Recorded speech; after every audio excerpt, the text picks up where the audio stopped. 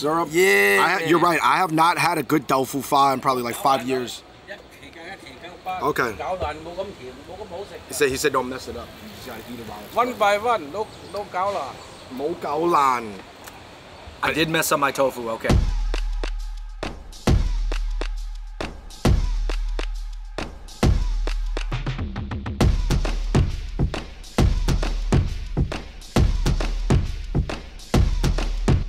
What's going on, everybody? You know that we just moved back to New York City. We're in the LES Chinatown area right now. This area is famous for a lot of things, but perhaps the thing that is most famous for is delicious cheap eats. So what we're gonna be doing today is we're gonna be hitting up several of our favorite Chinatown cheap eat spots where you can eat full for, I would say, under $10 each. All right, Dave, we gotta start off this video by going to the number one most famous cheap eat spot in Chinatown and maybe the entire city, Wah Fung. Let's go. All right, David, I just got out of Wah Fung, man. I got two two item combos. That means I got every meat possible. What are the uh, four meats possible at the, Waffle? the four meats possible is the roast chicken, you have the roast duck, and then you have the roast pork, and then you have the barbecue pork. Each of these was seven dollars. Um, You could get it as cheap as five dollars. You can get it as cheap as five, but because I wanted the the siuyuk, which is the roast pork, is a little bit more expensive. And dude, I got extra sauce. Guys, for seven dollars, I challenge you to find a better deal in New York City and Manhattan. Guys, we're not gonna spend too much time here. This goes without saying. This is probably the best cheap eat in Chinatown. Perhaps in the entire region of Manhattan. You guys have already seen a million videos about Wah Fung here on Christie Street. We gotta keep it moving.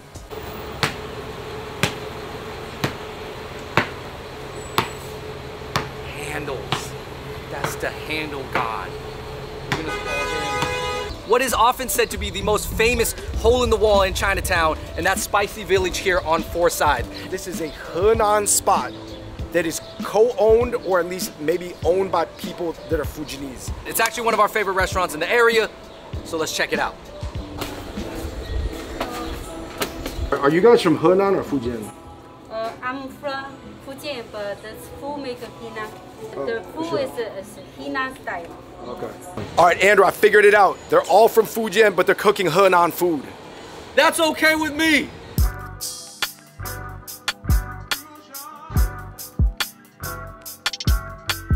Describing this chicken pepper dish, um, the peppers are really cooked well. You can see that they're very soft. There's plenty of wok hei, meaning that the chicken is kind of burnt here, which is great. It's juicy. It kind of looks like a type of like teriyaki chicken almost uh, tossed with peppers. And it tastes actually a little bit like teriyaki, but it, it's different. $8.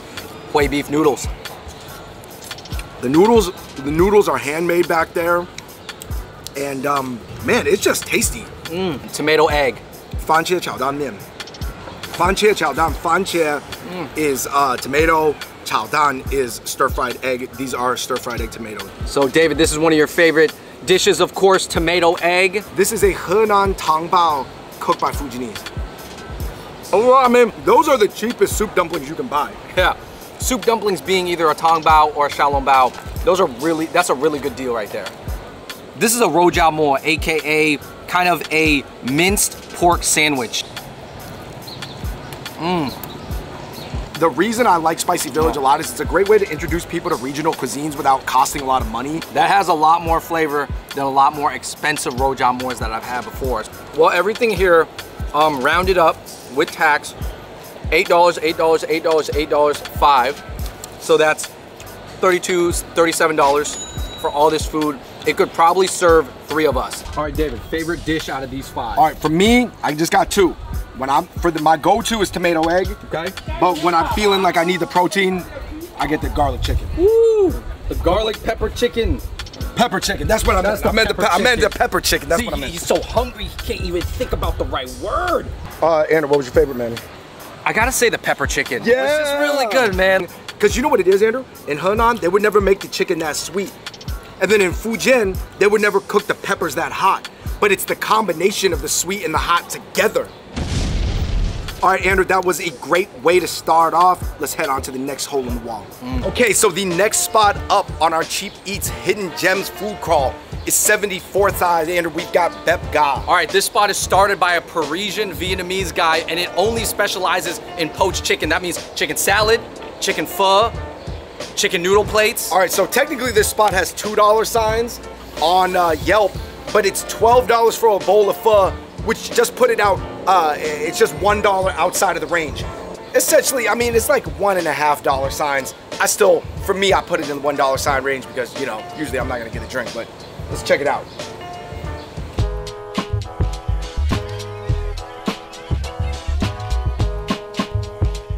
All right, we're here with the owner on. You're raised in Paris, man. T- tell us more about Bep Ga. Well, Bep Ga is my idea. Uh, come out from a love of uh, chicken rice. So have, we have a version of chicken rice in Vietnam. Then from chicken rice, you have to make a broth. So it came up like, oh, should make chicken pho, which we don't see very often.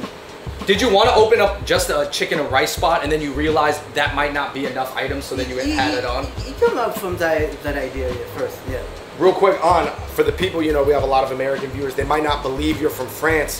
Why don't you just let them know something in French? Salut tout le monde, je suis Anne de France et, euh, et je suis vietnamien et, et aussi j'habite à New York.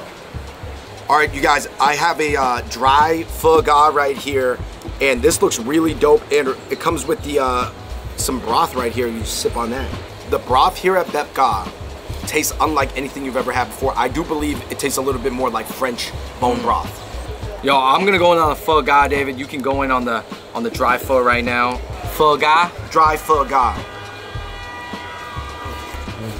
They definitely have some French sensibilities here because although the portion might be a little bit smaller, the quality is higher. Guys, each of these is $12, so I'd still say that's pretty fair price, um, especially for New York City, um, and for a really cool experience.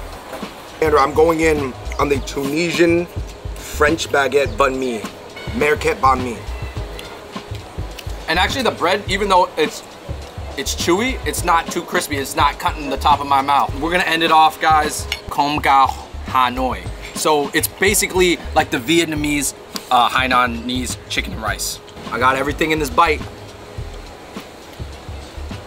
Mmm. C'est la vie. Merci beaucoup. Comment allez-vous? You gotta go to Bep Ga. Bep Ga Kitchen Chicken. Chicken Kitchen. All right, our next cheap eat in Chinatown that is $1 sign on Yelp is Steam House, and this is a Cantonese spot. This spot is truly a hidden gem because it's only got one review on Yelp as of right now. It actually recently opened. The people who opened up Steam House are from Hoi Ping, Guangdong. Our great grandfather is from nearby Hoi Ping, a different mountain called Hokshan, Yeah. Heshan. And that's actually, I believe, where the lion dance is from.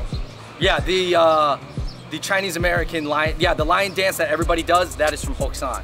We really like this spot. In there, I cannot say that it's not because my guy over here is from Hoi Ping and our great grandfather was from Hokshan. Yo, let's let's go to Steam House. All right, yo, what should we get?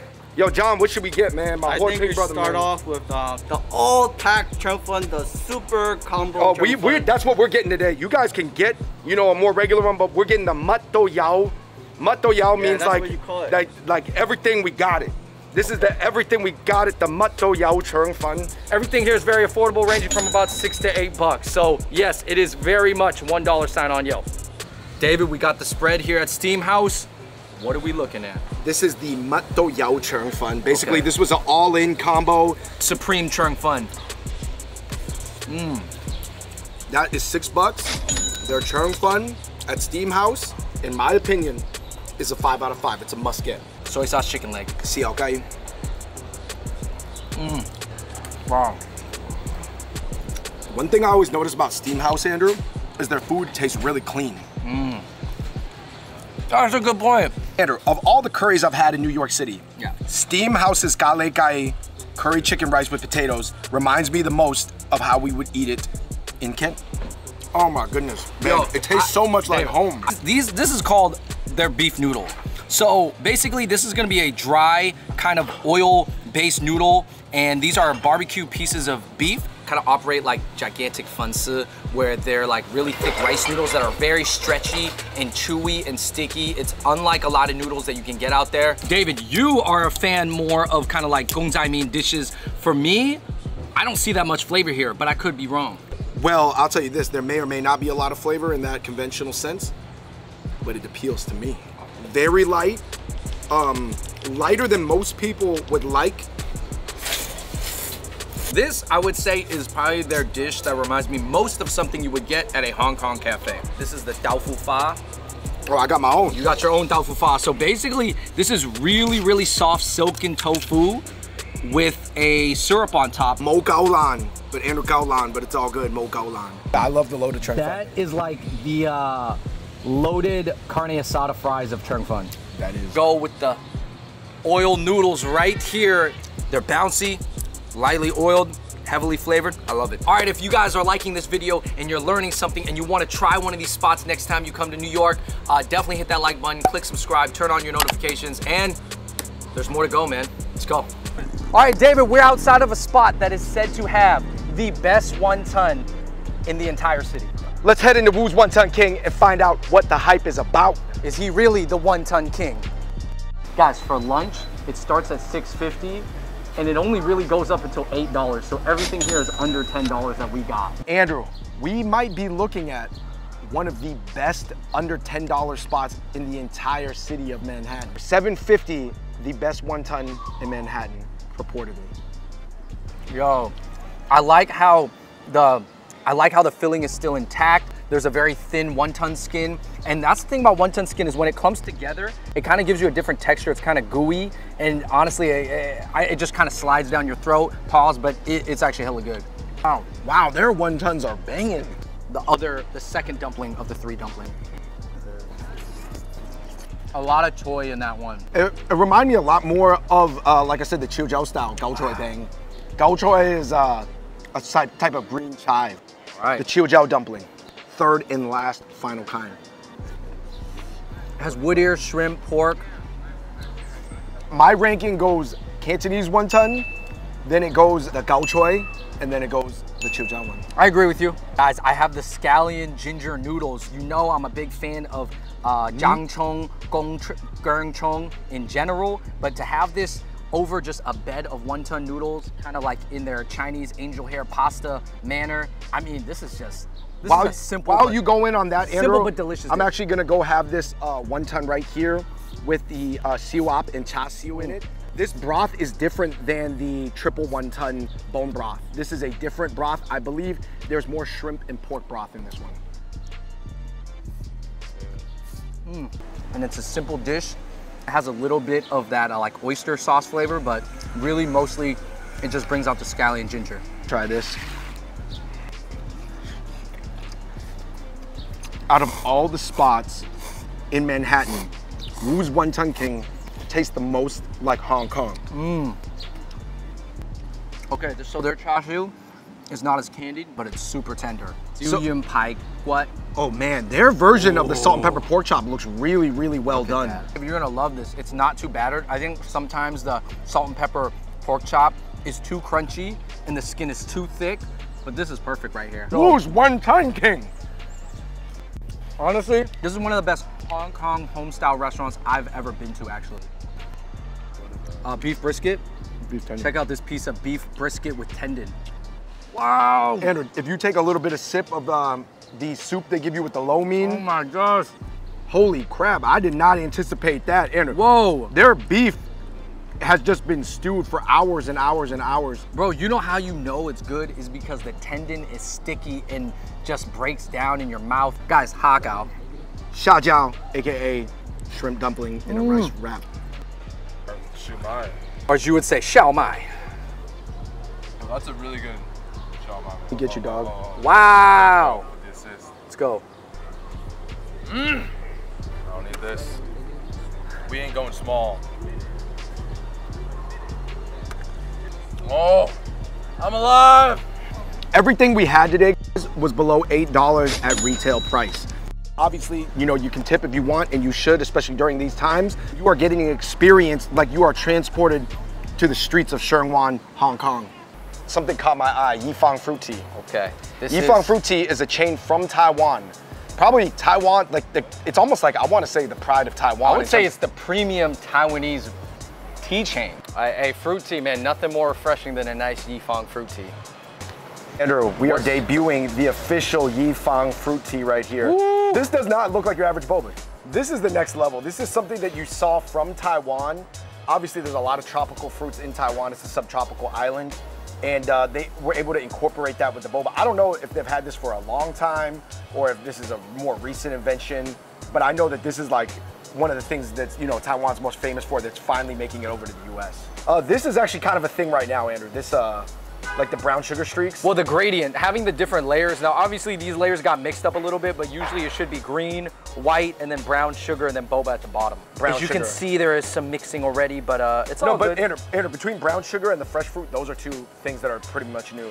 Here's one of the marks of a high quality boba is actually if you touch the bottom, it still might be a little bit warm because the boba is supposed to be warm.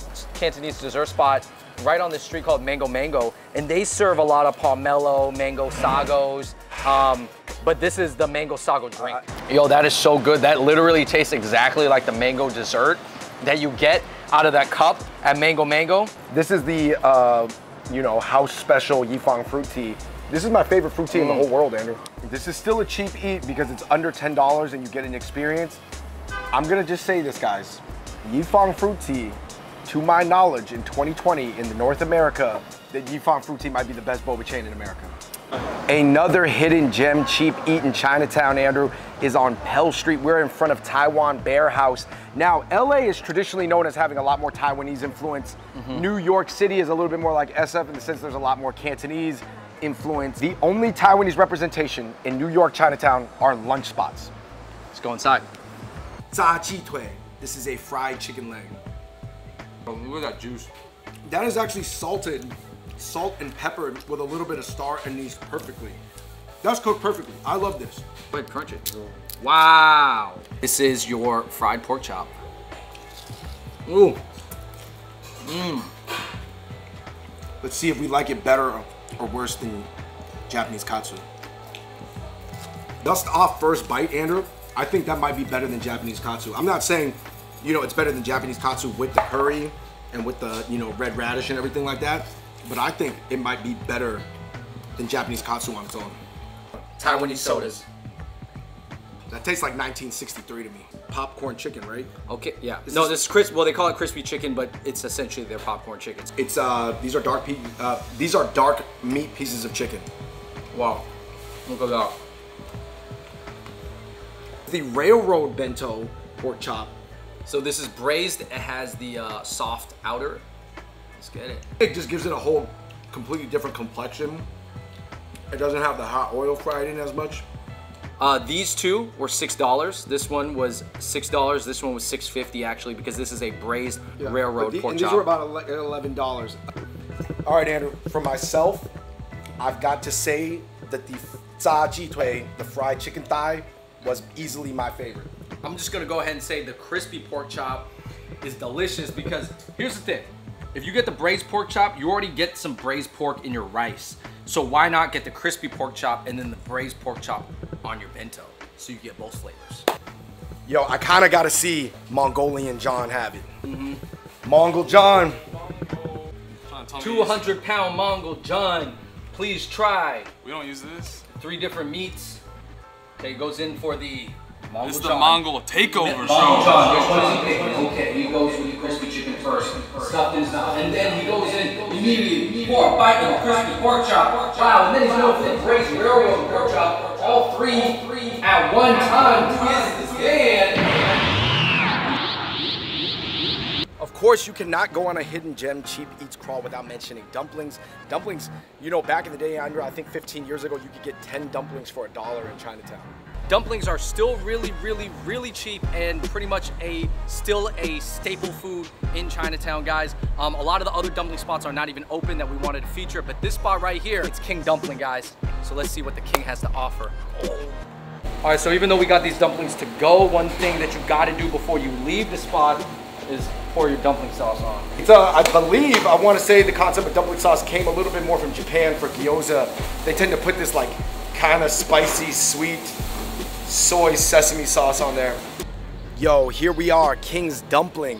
It had a lot of stuff. I mean, I think that in 2020, if you're gonna open up a dumpling spot, you might as well serve uh, and be multifaceted. You might as well be multifaceted in your menu, whether that's sesame pancakes, that's dumplings, that's noodle soups, maybe even uh, a pancake wrap. These were four for 250. 150. So David, these this banh mian was $2.50. For $2.50. $2.50. You cannot beat some Fujianese banh mian.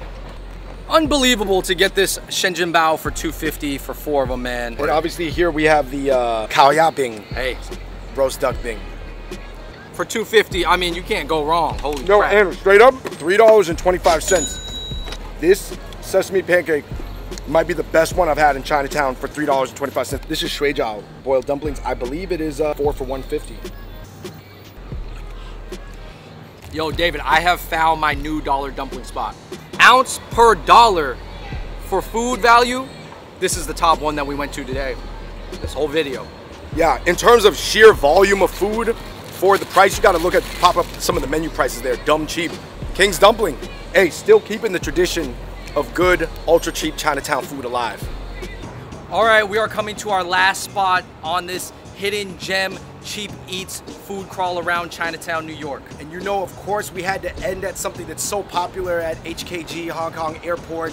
They're opening up so many of these chains around China in the next couple years, Andrew. I think it's safe to say Chinese people love this chain. this Chinese chicken chain called Bye Bye G. And uh, of course, if you guys know, that's Popeye's Chicken. Let's just say Louisiana Cajun food fits the Chinese palate very, very well, especially fried chicken. Oh my goodness. And, and more than like even beef ribs and barbecue sauce, Memphis, Tennessee style, this fried chicken, man, fried chicken. All right, you guys, we are wrapping up our Chinatown Hidden Gems cheap eats with some very cheap eats. We're talking about Popeye's Chicken, guys. They are going to be opening up 1,500 locations in China over the next two years. That goes to show you, Andrew, they must really like it over there. You guys, we had to wrap it up. Andrew, what'd you learn about your, uh, on the crawl? I mean, for me, real quick, I'm just to have some of this uh, Popeye's popcorn shrimp. Guys, uh, I do want to note that this Cajun rice honestly does look like some luro fan or it looks like some minced pork over rice that we just had at uh, Bear House. Andrew, what did you learn on this cheap hidden gems food crawl? I think that uh, the first thing that I took away is no matter how cheap a spot is, there's still a story behind it. Whether it was the people from uh, pretty much nearby our hometown or our grandfather's hometown of Hokshan from Hoi Ping at Steam House, the Taiwanese railroad bento boxes. There were so many stories behind so many different things. Wu's Wonton King. They did an episode with David Chang there, and they're famous for replicating Hong Kong. Uh, I think one thing that I realized is that despite Manhattan um, rent prices going up and everything getting more and more expensive, to be honest, there are some spots that are still really, really affordable. And I'm not saying that the prices aren't going up a little bit year after year. Still able to hold on to like the cheap Chinatown Eats theme. Yeah. You know, and, and and for better or for worse, some of those spots are gonna close down and go away and switch up, but a lot of them are still remaining. All right, you guys, that does it for episode one of our Cheap Eats Hidden Gems food crawl.